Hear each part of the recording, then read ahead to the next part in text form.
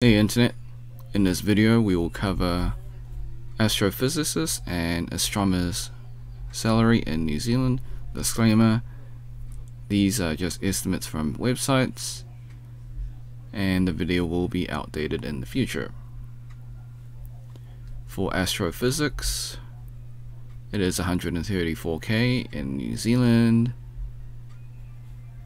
For astronomers, it is 143k in New Zealand.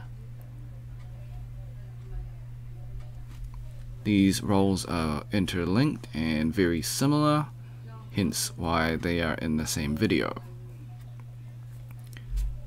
And another comparison is 143k once again. However, Salary Expert uses data from Economic Research Institute, which is this website. Alright.